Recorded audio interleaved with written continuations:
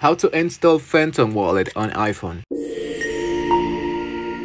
Hey guys, welcome into this new video. In today's tutorial, I'm going to show you how we can install our Phantom Wallet on our iPhone so quickly and easy. So the first thing you want to do is to go into your App Store and in here you want to go into Phantom and hit into the search button. Then what you have to do is to go and install our Phantom wallet. Now there are a few people that say that this doesn't appear in our App Store, in your App Store. So if this is your case, you don't need to worry about that. You just need to go into your browser and in your address, you just need to go into Phantom Wallet. So after that, you're gonna see the main page of the Phantom Wallet, which in this case, what we just want to do is to go and select this one that says download.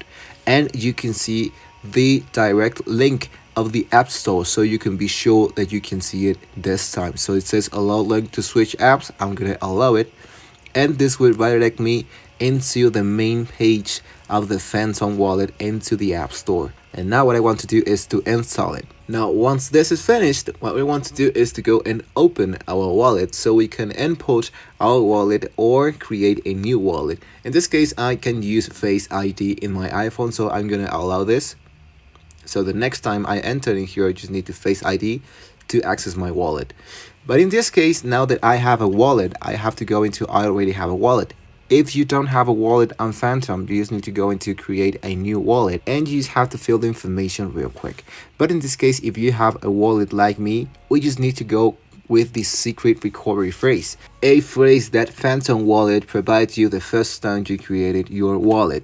So now that we've done that, we just need to wait a couple of seconds and head into next. And it says you're all done. You can now fully enjoy your wallet. Let's agree to the terms of service and get started. If you want to enable the update, you can do it, but I'm going to go into not now. And as you can see, here are my assets of Solana and I can manage my token list in here right away. If you want to see specific tokens or if you don't want to see specific tokens. So really simple guys, don't forget to like the video and subscribe to the channel if you want to see more about this kind of stuff. Thank you for watching this video and I'll be seeing you guys on the next one.